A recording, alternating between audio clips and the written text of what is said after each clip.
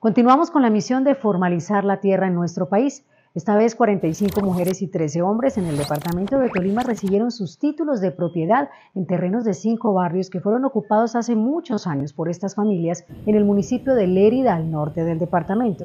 Desde que inició el programa de formalización de la propiedad hace 10 años, hemos entregado 113.735 predios en todo el país, para ser más exactos, en 400 municipios de 27 departamentos.